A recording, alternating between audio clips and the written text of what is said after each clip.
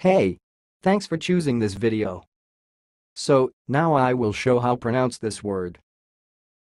So to begin, you can just can say ANTIS 96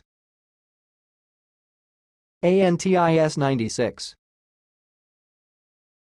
And now a little bit slower ANTIS 96 ANTIS 96